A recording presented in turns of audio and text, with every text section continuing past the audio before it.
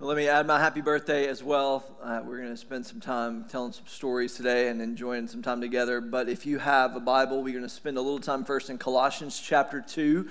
We want to, of course, on a day where we mark a milestone, uh, turn to God's Word. And so we've been in this series called Spiritual Rhythms, uh, where we're talking about things that uh, we do every day on a regular basis, daily, weekly, whatever it looks like, to, to see Christ formed in us and to see us grow more and more into his image. And so uh, we're going to continue that today. We're going to look at this, this idea that is for us sometimes, uh, I, I, think we don't think of it in this way. We want to talk a little bit, though, today about gratitude. Uh, it sounds kind of just like a nice way to, to ease into the day. I wore my Mr. Rogers sweater for you today to talk about gratitude, but actually, it's a pretty powerful weapon, okay? And we're going to we're going to uh, see it here in Scripture. So, Colossians chapter 2 verse 6 says, Therefore, as you received Christ Jesus the Lord, so walk in him, rooted and built up in him, and established in the faith, just as you were taught, abounding in thanksgiving. Here we go again. Ready? The grass withers and the flower falls. God, thank you for your word. Thank you for the truth that we find in it, the foundation we have in Jesus made known to us in the pages of Scripture and by your Spirit at work among us. And so, God, we ask that you would shape in us gratitude today. We pray in Jesus' name. Amen. These three statements have kind of formed our uh, the thoughts around our series. You can say them with me if you'd like. Life is made up of days are the sum of our ha- habits become rhythms. Habits become rhythms. So life is moving fast. Things are going really fast, but we got to remember today. You got to live today. Today is made up of habits, some things we do intentionally some things that we because we know they're valuable we're willing to put in the work the effort. We're you know maybe you're on day 21 today. They tell you it'll stick after after 21 days. Maybe you kicked it off at the first of the year. Habits become rhythms. They become natural and normal. They become part of your routine and those really form you into who you are. And today i want to talk about gratitude because gratitude is usually uh, for us just a spontaneous idea you know, gratitude is what happens uh, in a moment that it just kind of crawls up your spine and kind of makes its way in, into your, your head. You know, you look out over the landscape, you woke up on Monday morning and you saw, wow, it's awesome out there, it's so beautiful. Now you're like, I hate this, where is this gonna melt? You know, but you look out over it and you're, you're thinking, wow, that's incredible. You know, you know, thank you, Lord. These kids have not killed one another in this house all week long. Thank you, Lord, right? It, it usually is just a spontaneous kind of thing that comes upon us. But what if gratitude was a bigger deal than that? It's what if what if for us it was a habit that could become a rhythm and it wasn't just whenever it snuck up on you, but it was the ground that was the soil of, of every part of, of your faith. And so when you when you uh, we're, we're thinking about to, in in these weeks, we we want these things to become a regular rhythm, a regular routine. We talked about how we get God's word into us, how we spend time in prayer. Here's a rhythm that we want to, to make a part of our routine. Make gratitude a daily focus. Now, if you're reading along in our, uh, in our uh, Rhythms Journal, if you got one of those at the beginning of the year, where we're taking day after day to read Scripture, pray together, you notice in that lower right corner that there's a section for gratitude. And here's the intent that you would make gratitude a daily focus trying to, at whatever point in your day that works for you. Maybe it's the morning when you're praying for, through the day. Maybe it's at lunch when you pull away and you go, you know, to, to, to your desk or you pull away in the break room or you go out to your car, whatever it is. You're going to take some time and just look for God at work. We're, for, for lots of us, and what we hope will work, what's what we titled the evening gratitude, is that at night you would take some time and go back and kind of review your day. So make gratitude a daily focus, ideally every night as the, the last thing I do.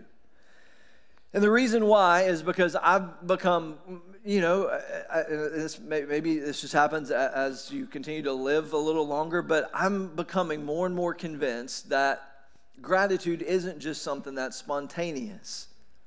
It's not something that uh, you know, if if your level of blessing rises higher than you know what you think you deserve, then at that moment you become grateful.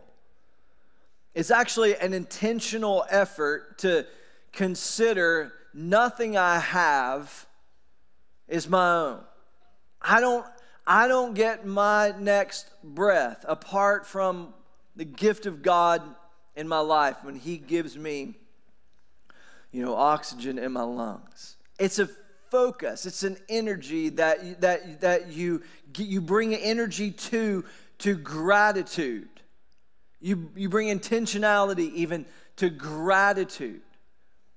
Because what happens is, you know, if you read these verses kind of phrase by phrase, think, think about this. Uh, this is not a trick question, by the way. So he says, just as you received Christ Jesus as Lord. Let me ask you for a two-word phrase. Two-word phrase. How do you receive Christ Jesus as Lord? How do you receive Jesus? Two words. Come on. Somebody besides my wife. By faith, that's right. Thank you, Lynn.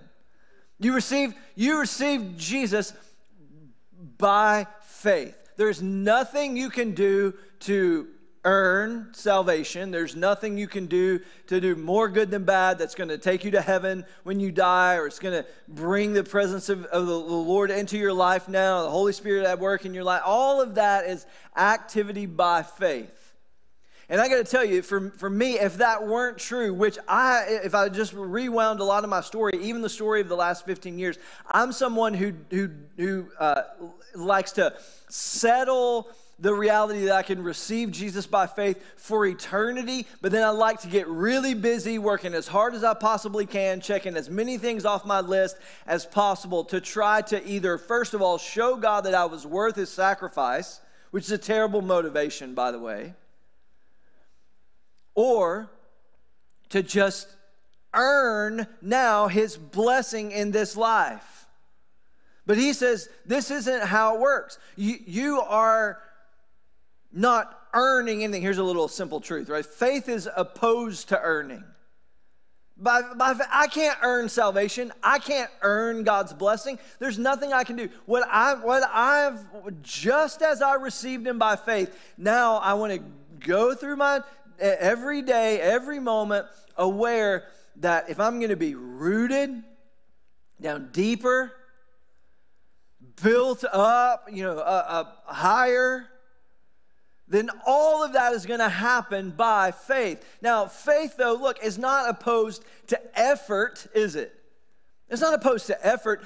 There's effort is actually a good thing. I don't have any strength. I don't have any power. I don't have any authority apart from what Jesus does. I've given everything over. I've transferred it all to Him.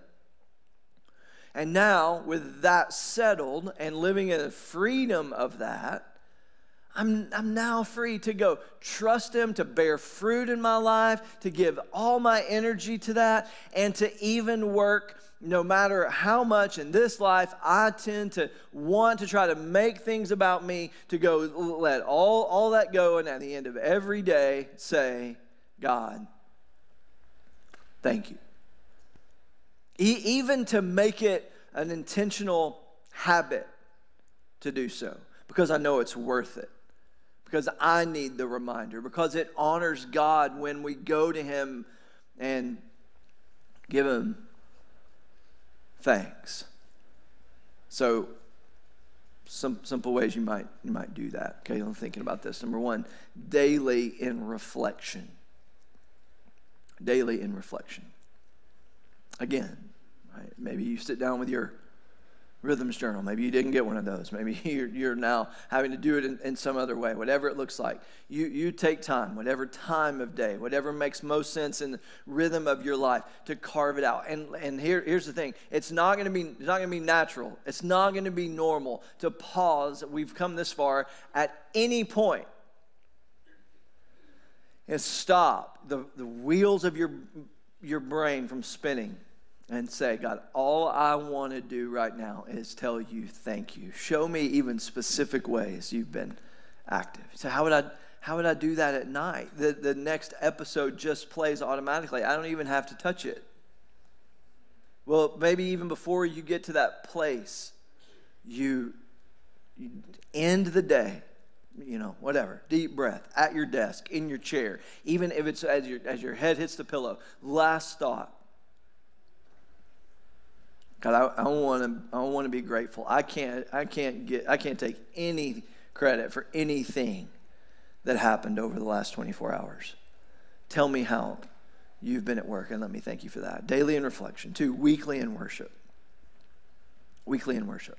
The, the Bible says, Garrett even read a verse at the beginning of the service today, and, and these phrases, just like here at the end of these verses, the Thanksgiving idea tends to just get tossed in. Just it's just like a well, of course. I mean, that's what he would say. That's what kind of language he would use because, of course, we want to be grateful people. No, in, intentionally, we enter in. Think about this: Psalm 100, verse four. Enter his gates with thanksgiving. That's how. That's how it starts when you come into God's presence, and that applies to even when we come here together on Sundays, what would it, what would it look like for you to even maybe make this your rhythm? Here, let's, what if God could do this in our brains over the next seven days? When you see that timer go 10, 9, 8, it plays down to what? If, if you've never been here before the service starts, there's a timer that plays before the service. I had to throw that in. I try to throw that in at least once a month or so.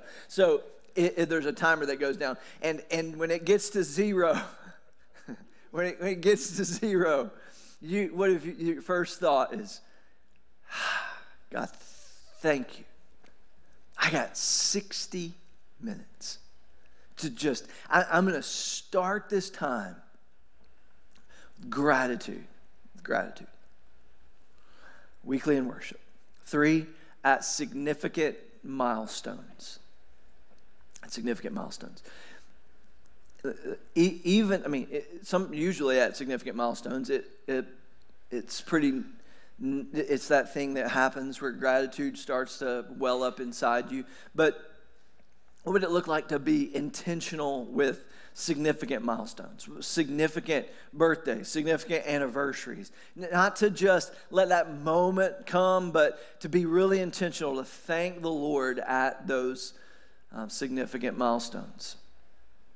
And so today is really a significant milestone, and, and that's what I want to do, is give some application to that. Today is, is a, I mean, 15 years is a big deal.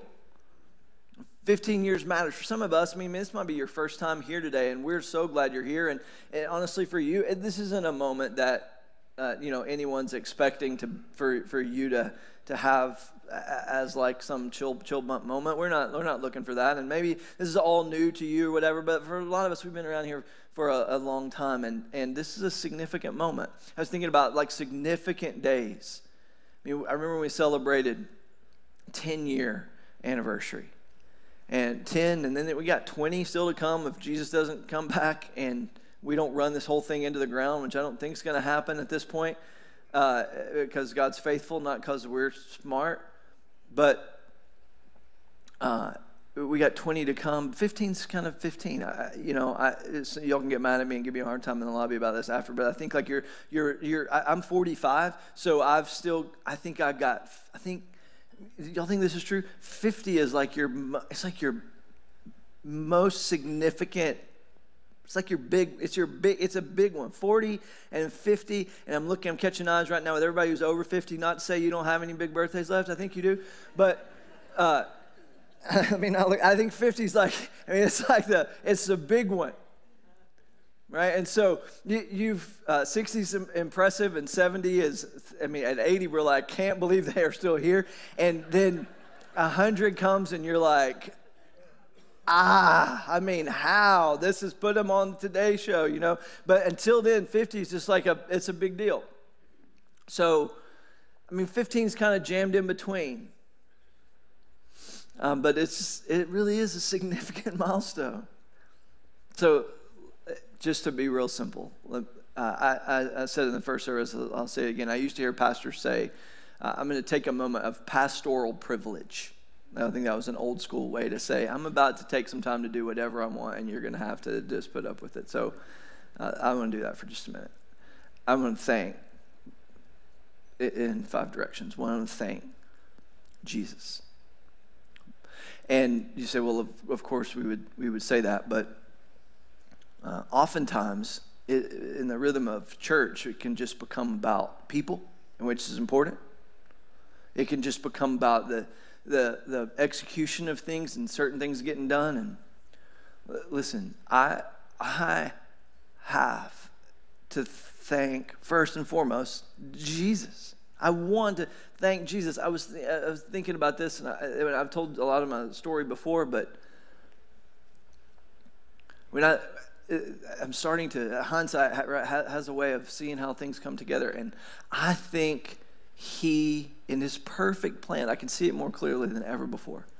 He saved me at just the right moment.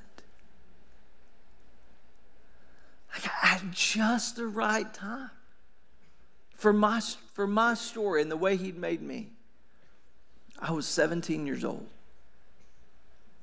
And I was, I hadn't done everything the world had to offer, but if you put the boxes of sins to, in big categories, I had checked them all.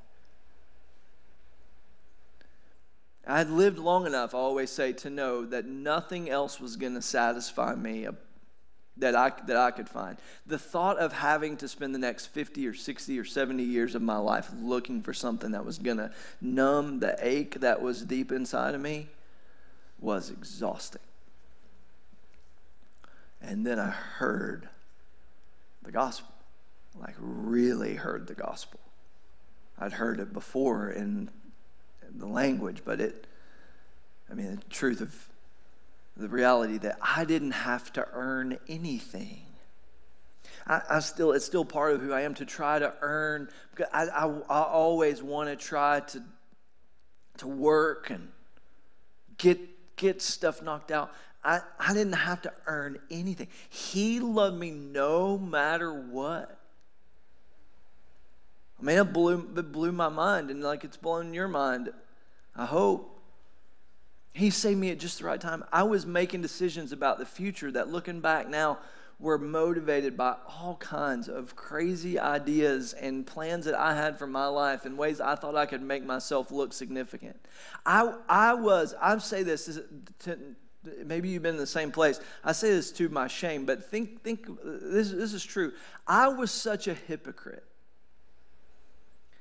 I made plans. I, I remember these thoughts. I made plans that in my future I could be one person some of the time and another person some of the time. I, was int- I wasn't just accidentally a hypocrite, I was intentionally a hypocrite. I was trying to prove to myself and to God that I could be two, I could be two people and I'd be all right. You talk about hopeless. And he saved me at just the right time. Right as life was getting, I mean, right as things were starting to, you know, to roll forward, and before certain decisions could get made that would change the trajectory forever, he, he rescued me out of uh, a deep, deep pit. So I'm grateful for that. Secondly, I'm grateful for my wife. I told a story a few weeks ago. It's not a longer, impressive story about how we started to connect, but what I haven't told you in a long time is when that happened, when Sarah and I started dating as she entered into her senior year at Carson Newman, uh, she had just spent six weeks in Russia uh, with, in a missions context with Campus Crusade for Christ. And she really felt like while she was there that God was calling her to do that for as the foreseeable future and she didn't have any guys weighing her down, you know, and here I am, and and I show up and sweep her off her feet, and everything gets gets really complicated. So, uh, you know, going into that new school year, she's thinking, well, I got to get overseas and I got to raise the funds to do it and I got a plan. And she was going to she was going to raise all the money she needed to go live in Russia for the foreseeable future. And I was like, I don't think you, I don't think that's God's will. I've been praying about it. I'm telling you, I just, you know, you do what you want, be disobedient. That's totally cool. But, um, and a, and a year later, we're living in Crossville at a little bitty church where I'm the youth pastor, and she's working to help pay our bills at a probation office as the front desk receptionist, making minimum wage. And it was hard because that's not the life she had planned. But she loved it because we got to be together and we got to do whatever we sense the Lord calling us to do at that time together. And she's been faithful through the whole thing. She was sitting in her chair beside me this morning reading her Bible and praying through her day and that class she was going to teach at 8:30 this morning. At 6:30, just like she often is most every day. She's faithful. I would say this to any young pastor. You should find a wife, not just who loves you, but who has deep in her soul the idea not only that Jesus is your only hope, but that apart from the local church, you cannot make it through this life. You live in a day and a time, I would say to this guy, who, whoever he may hypothetically be at this moment, you live in a day or time that tells people they can find all the spiritual truth they need on their phones, that they can go wherever they want, hop around, do life however they want to do it, do ministry in whatever context, be this and be that. You will never make it through this life apart from the local church. And I don't know if any of you believe that in this room. I think a lot of us probably believe that in this room. I can tell you one person, two people who happen to believe it with all their hearts in this room room, and one of them is my wife. She loves you, and she loves Jesus, and she loves this church. And she loves our kids. And I'm so grateful. So let me tell you some also some things I'm grateful for for you. I'm grateful for your friendship. Mentors told us at a young age, other pastors, it will never work for you to be. It sounds all it sounds bad. It's not what he meant, but you understand where it's coming from. It will it'll never work for a pastor to have his closest friends, the people who actually know who he really is and what he's going through, and a pastor's wife, the same thing it will never work for those people to be within the body of the people that you you gather with every week. You're going to need you're going to need your you know of course you're going to be friends with those people, but you're going to need your real friends to be from somewhere else or go to some other church or some other pastor, some other place. And to be honest, I don't know we had any kind of kind of kind of uh, uh, like deep response to that, other than just to say that that sounds awful. I, I'd rather be friends with the people that I get to see every day. I'd rather the people know who I am, who, who, who like I actually can swing by their house. And I'll tell you now, we, I mean, I, I think it's probably because I'm just not that great of a friend to some of the people that might have been in the past, but we've kind of burned all the ships, and all the people who know me best are probably sitting in this room right now. And that's because you're willing to put up with a whole lot of imperfection in me and, and in her. And so, just I want to tell you, thank you for your friendship. We dreamed with a team of people in 2008 about what it would look like to have a church that was completely authentic. You didn't have to. You didn't have to. If you were going to go to this place Sunday after Sunday, you didn't have to be someone who was different, some other place than you are now. It was all right to just say who you actually are and the Lord, would rather work with that. And so, by His grace, he's, he's done it. So, thank you for your friendship. Thank you for your service. Thank you for the way that you have modeled from the very beginning. We would pull up a trailer at the Rose Center in Morristown, super early in the morning. We would walk in, we would survey, like, where, what was the wedding reception like? How, how, how much fun does it look like they had here last night? And we would, we would have to clean all that stuff up, everybody that showed up there super early. And we would set up, we would have church, one service and then two services. We started getting there earlier and earlier and staying later and later. And then we had an opportunity to move into a building uh, rented space in town, and honestly, I didn't want to do it because I, I thought, on one hand, this stinks. I hate this. I want to sleep in. And on the other hand, I would say, this is the greatest thing ever. I think we're I think we've like declared war on on on the devil here by scrubbing you know Modelo off the floor at 7:15 when the sun's coming up. Because that was just you, lots of you working really hard.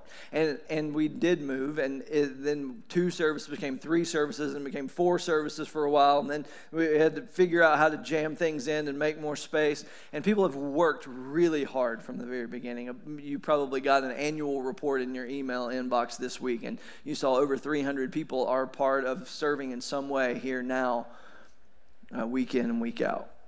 And by the way, that's now in Greeneville, and that's now in Grainger, who is 36 minutes into their first worship gathering right now in this moment, doing what they get to do, serving really faithfully. A bunch of people who are loving kids in other rooms who didn't even get to go to the service, though they've moved there. So, I mean, it's the, the DNA of the people who are in this place is all over this church. So thank you for your service. And then thank you for your generosity. Thank you for the way that you give. Uh, as a church, I can talk about a long time. I try to tell you personally as well. I don't, I don't, we don't have any other like side hustles or whatever. Sarah worked, she worked part time and now she's working full time pretty much. And, but everything that's in our pantry came out of your pocket. and I'm grateful, and our family is grateful. How you have been so generous, not to just provide salaries for staff, but I want you to know we're grateful for even that. And we're grateful for all the ways that you, you do give. I remember the first, when we had this whole plan, we had this. Uh, when you're going to start a church, they, they tell you to write the whole thing out and put it together and make it look really fancy and put it in a document so you can send it off. And called a prospectus, which is really like a business plan for a church. I think a church can't call it a business plan, but that's what it was. It's like a here's the idea. And so uh, in that prospectus, we had a budget. I remember I can picture the page. I mean, I even know what the page looked like and it spelled out our first budget 2009 was $180,000. And we, you know how many thousand dollars? If we had zero thousand dollars, that's how many thousand dollars we had. And people sacrificed. And I took a, I took one check for five thousand dollars and I put it in the bank. And we opened a bank account. And then we had $5,000. And our church in Knoxville had sent us to Morristown with the promise of $1,000 a month. And they gave us a shiny new MacBook Pro, which was awesome. It was so cool. No turning back at that point, no more PCs. And that's all we had. And God was faithful, and He was faithful through you, who were very generous. We exceeded that budget. And then last year, just just in like November and December when we talked about giving above and beyond what else you've given this year, just above and beyond in that period of time, you gave $210,000 to our one for one offering. And so uh, you can keep doing that, by the way. You keep on giving, feel free. Um, but that's going to our future. And the reason we made the video, a 15 year video about kids and students so much, was because who could have seen this happening? And, and to think that they weren't born. And 15 years from now, what, what the Lord will do, there's a foundation in place for that. And that's because of your generosity. And so we're grateful for that. I'm grateful for that. And I just want to tell you thank you. So we're going to go eat some cupcakes and drink some Mossy's cold brew in just a minute. So why don't you bow your head and pray with me?